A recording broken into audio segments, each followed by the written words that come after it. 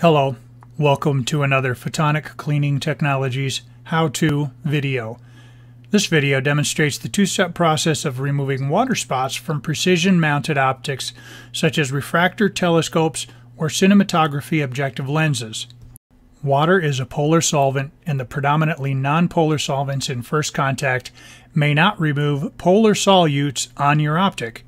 In general, polar solutes dissolve in polar solvents and nonpolar solutes in nonpolar solvents. We use two techniques to dissolve and remove water spots. Before each process, remove as much contamination as possible using first contact polymer before tackling the water spots.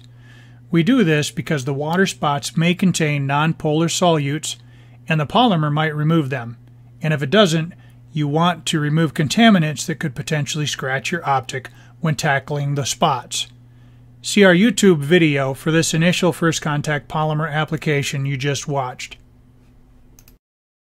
To tackle the water spots, the first process we'll discuss is to wet cotton balls with pretreatment, which works well if you only have a couple spots. The cotton balls shouldn't be dripping wet. Squeeze out any excess pretreatment, then carefully place the cotton balls on the water spot. Don't scrub the cotton ball. Just leave it in place for about 10 minutes to let the pretreatment dissolve the spot. After removing the cotton ball, apply polymer over the area before the pretreatment dries. Gently mix the materials. If it looks gelled, add more polymer so the materials coalesce nicely.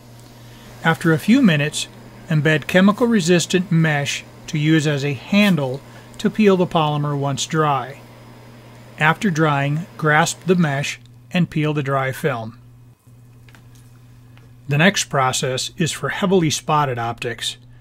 You will apply a wetted lint-free cloth over the optic with an O-ring at the perimeter of the optic.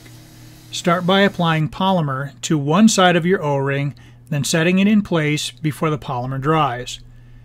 When we utilize an O-ring to stop only polymer, as seen in our other videos, we allow it to fully dry. But with the pretreatment, you want to lay the O-ring in place before it's dry so it has better contact with the optic surface.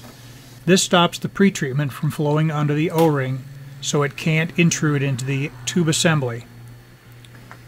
Allow the coated O-ring to dry for about 10 minutes. Next, place your wetted lint-free cloth cut smaller than the O-ring, onto the center of the optic. You can apply a few more pretreatment drops on the cloth to keep it wet if necessary. Just before removing the cloth, soak up any excess pretreatment that is pooled inside the O-ring. The polymer you will apply next will mix with pretreatment, but the more pretreatment that is present, the more polymer is needed to allow them to easily and fully mix. Remove the lint-free cloth and immediately apply polymer on the optic before the pretreatment dries. Apply at the center and work outwards. After waiting a few minutes, you can embed the chemical resistant mesh for a handle to peel the polymer once dry. Always apply the mesh at the perimeter or it will be difficult to get the peel started. The polymer will take longer to dry since it's pooled at the perimeter so wait at least an hour. Once dry, grasp the mesh and peel the polymer film. If you try to peel and see the mesh is stretching or tearing from the polymer, it's not fully dry. Thank you for watching.